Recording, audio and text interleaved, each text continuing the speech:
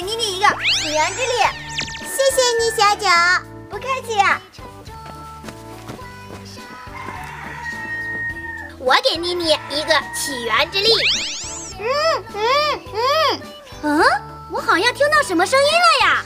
哎呀，大婶儿，这哪里有什么声音啊？你肯定是听错了。不过大婶儿，我还是谢谢你给我一个起源之力。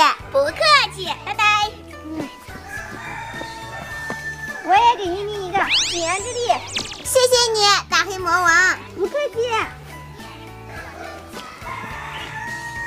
哎，我有两个起源之力，这到底给谁呢？嗯嗯嗯，卡卡，你在说什么呢？我还是把我的这两个，一人给你们一人一个吧。哎呀，不行，你应该把起源之力全部都给我。你怎么这把傻妞的起源之力能量给我要过来啊。哈哈，我不是那个意思，我是说你把能量给我，我恢复颜色之后，我会帮卡卡直接恢复的。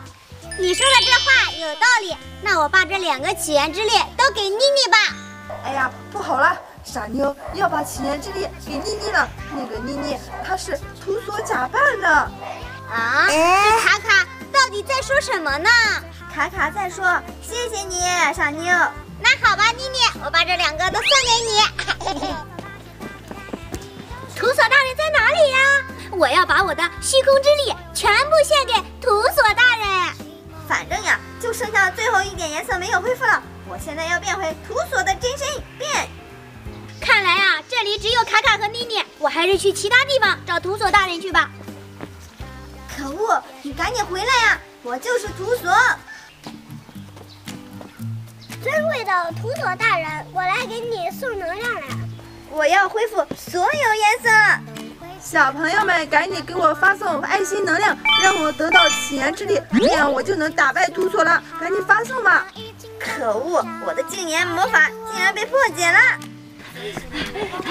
哎，土所大人，我终于找到你了！我要把我所有的虚空之力都给你，让你占领整个童话王国。谢谢小朋友们给我的起源之力，就算你有了起源之力，也打不过我的。小朋友们已经给了我合力魔法，你这个大坏蛋！小朋友们不会给你，他会给我魔法的。小朋友们赶紧发送爱心能量，我们一起打败他吧。